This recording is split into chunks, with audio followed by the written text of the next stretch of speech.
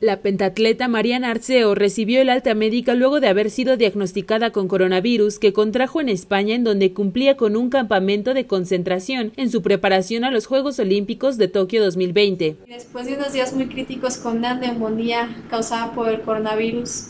eh, ya seré dada de alta Estoy muy contenta y muy orgullosa de la Comisión Nacional del Deporte y de la directora Ana Gabriela Guevara porque desde que yo presenté los primeros síntomas en mi campamento en España, ellos supieron actuar de la mejor manera, la cual pues ahora se, se ve reflejada en mi salud, en mi estado. El 18 de marzo pasado, la jalisciense ingresó al Instituto Nacional de Enfermedades Respiratorias en donde recibió la atención necesaria. Sé que como deportistas de alto rendimiento llevamos nuestro cuerpo siempre a un extremo, el cual a mí en lo personal no me permitió eh, darme cuenta de, los síntomas de, este virus hasta cuando ya estaba mi salud en peligro.